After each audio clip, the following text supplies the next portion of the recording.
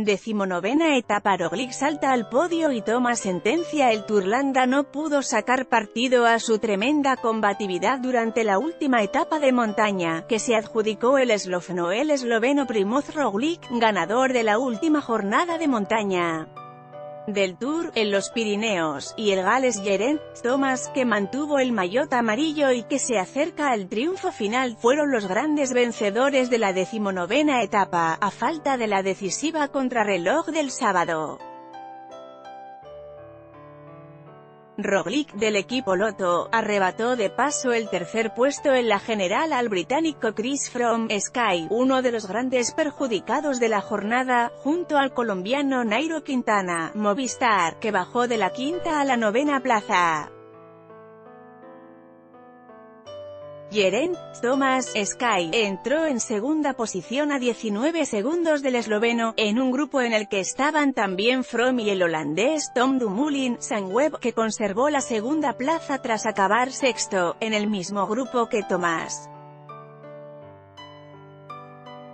Pese a que Dumoulin es un gran especialista en la contrarreloj, los 31 kilómetros de esta especialidad en la etapa del sábado no parecen ser suficientes para que el holandés sea capaz de limar los 2 minutos y 5 segundos que le saca Thomas, no vi a Roglic marcharse.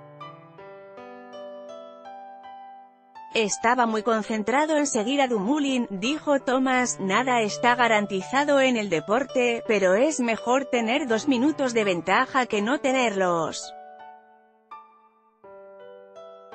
Al menos no tendré la presión de tener que tomar riesgos, añadió el Gales. El holandés reconoció que perdió una buena oportunidad en esta etapa de montaña, estoy muy decepcionado. Vamos a ver qué se puede hacer en la contrarreloj, dijo, sabedor de que había perdido casi su última oportunidad de ganar el Tour. Mal día para Quintana en esta etapa de 200,5 kilómetros entre Lourdes y Laruns, con seis puertos de montaña, incluido el Tourmalet. Roglic atacó en el descenso del puerto de la Obisque, la otra gran dificultad de la jornada, a unos 10 kilómetros de la llegada, asegurándose el triunfo. Con los 19 segundos de ventaja, más 10 de bonificación como ganador de la etapa, Roglic ocupa el último escalón del podio, a 2 minutos y 24 segundos de Thomas, y Froome bajó a la cuarta posición, a 2 y 37, no pensaba en el podio cuando ataque sino simplemente en la victoria de etapa. Sabía que cualquier distancia que tomara sería difícil de recuperar en el descenso. Cuando me dijeron que llevaba 5 segundos de ventaja, di todo lo que tenía hasta el final. Y valió la pena, dijo el esloveno. Roglic, de 28 años, exaltador de esquí, logró su segundo triunfo en el Tour, después de haberse impuesto el año pasado en la etapa de Serre Chevalier, tras haber pasado por el Galibier.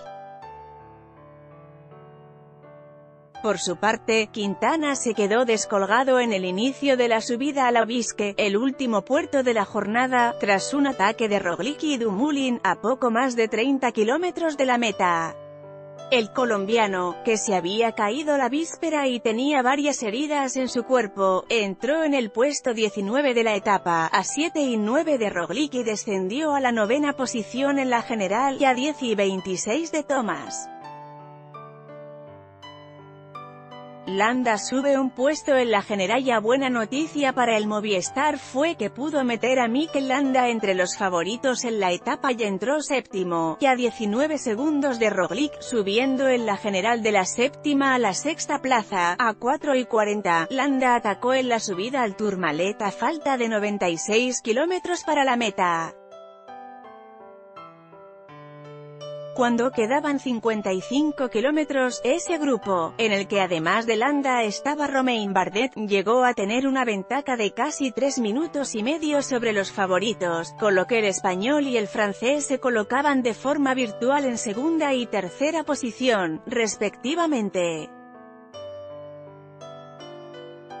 Pero a partir de ese momento, el grupo de favoritos empezó a recortar diferencias a ritmo vertiginoso, y cuando comenzó la subida a la Bisque, a unos 35 kilómetros de la meta, atacaron Dumoulin y Roglic. Thomas, con ayuda del joven colombiano de su equipo, Egan Bernal, pudo alcanzar a sus dos rivales. La contrarreloj del sábado, de 31 kilómetros decidirá el triunfo final.